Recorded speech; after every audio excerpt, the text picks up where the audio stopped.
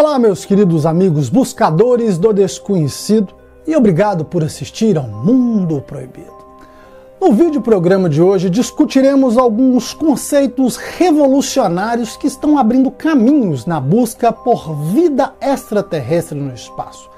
Esses conceitos, inclusive, podem mudar os paradigmas de tudo o que sabemos. E é sem exagero. Vamos explorar os aspectos pela busca de vida extraterrestre, como as zonas de cálculo espacial, que é um novo método, uma nova maneira de identificar os locais potenciais para depois identificar as áreas promissoras, evidentemente ampliando os espaços para encontrar vida extraterrestre. E por último, um tema sensacional: os fósseis alienígenas em nosso planeta e os esforços que os cientistas vêm fazendo para desvendar esse mistério. E se você ficar até o final, vou te dar uma notícia interessante de uma descoberta recente. E não se preocupe que farei como sempre faço, didaticamente, sem frescuras e no popular. Fechado? Então confira o sininho das notificações, se inscreva no canal se você não for inscrito e venha comigo mais uma vez navegar por este mundo misteriosamente proibido.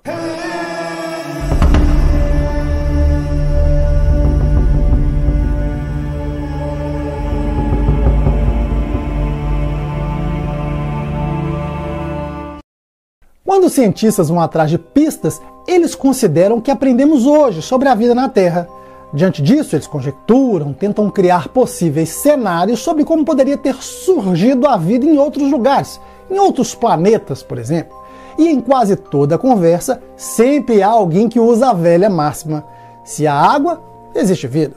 E quando se tem a revolução na introdução, é porque, primeiro, a primeira mudança está justamente aqui. Hoje, a água em si não é suficiente.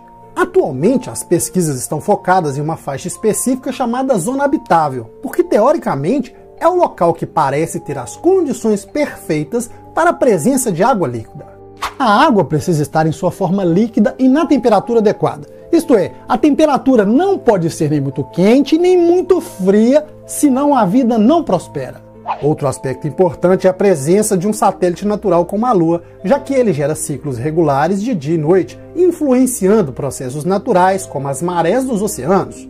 Além disso, um campo magnético forte seria fundamental porque ele atua como um escudo contra a radiação solar e cósmica.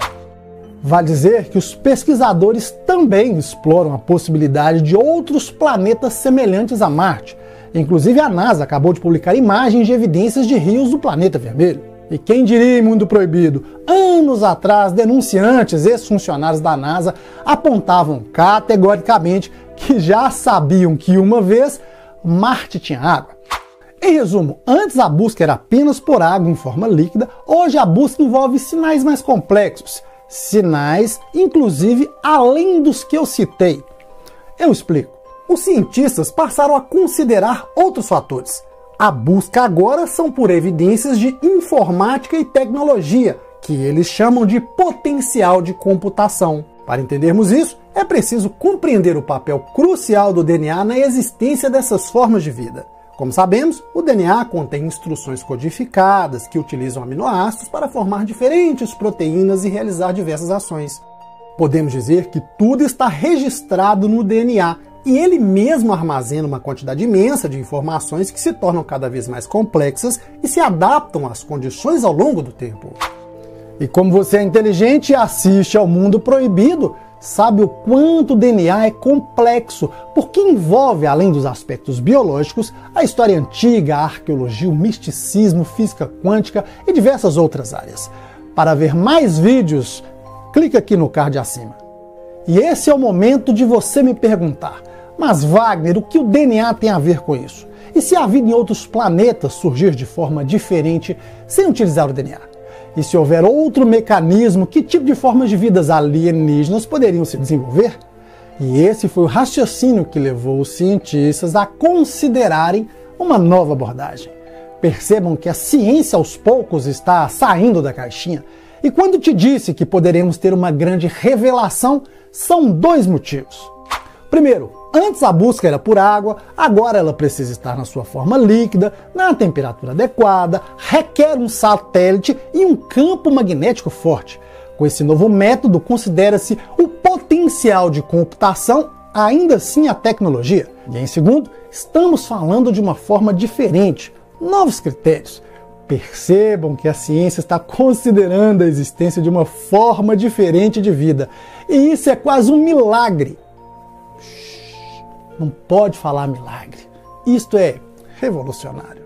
Os cientistas concordam que, independentemente do mecanismo, a vida sempre buscará avanços tecnológicos constantes.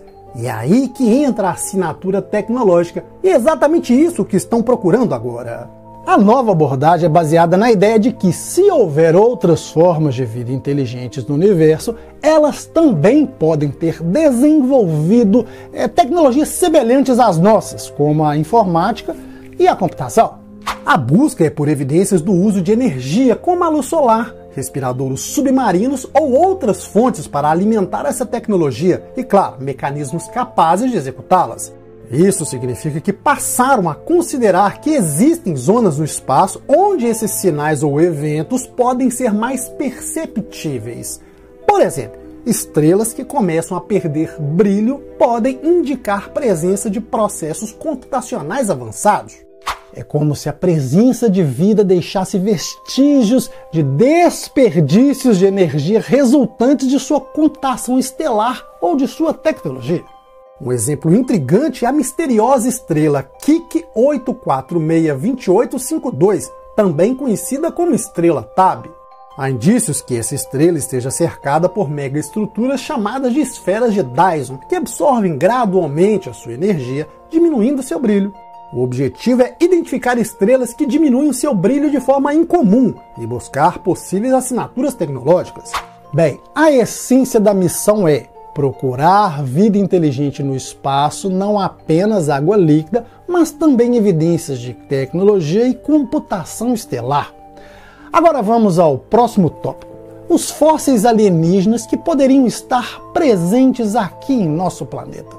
A revista Astrobiology publicou um estudo do Dr. Tominori Totani, da Universidade de Tóquio, no Japão, onde sugere a possibilidade de existirem fósseis alienígenas na Terra.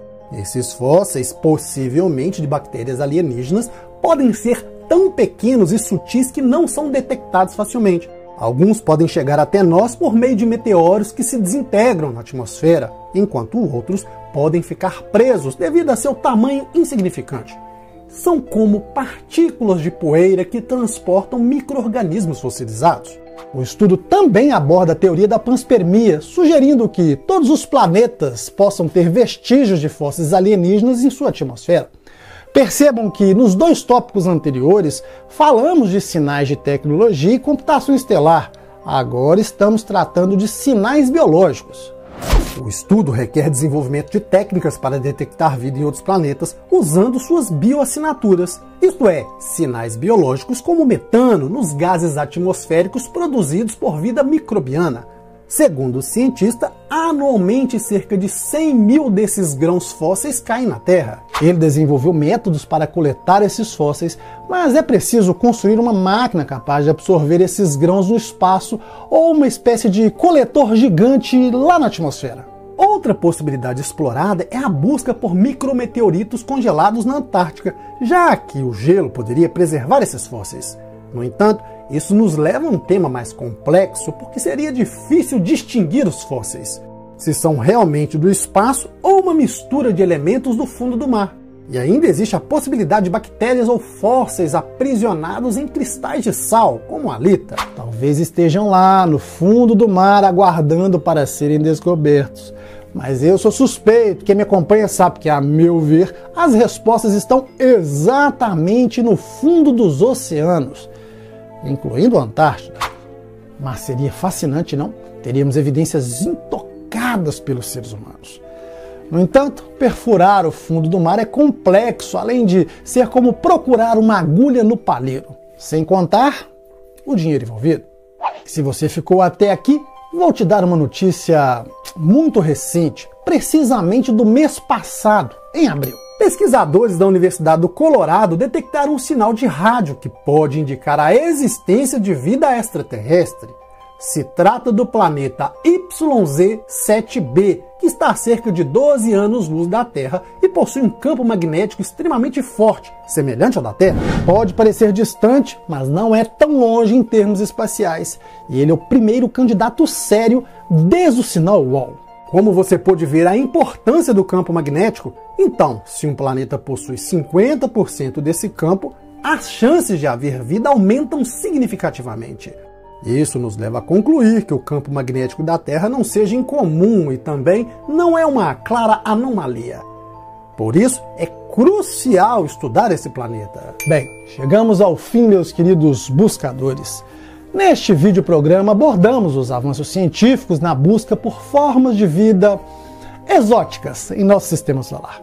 E sim, podem revolucionar a busca pela confirmação de vida alienígena. E você sabe muito bem que a ciência considerar algo que saia de sua bolha já é motivo de comemoração. Espero que vocês tenham gostado. Vocês podem me acompanhar nas redes sociais e que as estrelas guiem seu caminho. Eu sou Wagner Souza e até o próximo vídeo programa, se Deus quiser e Ele quer.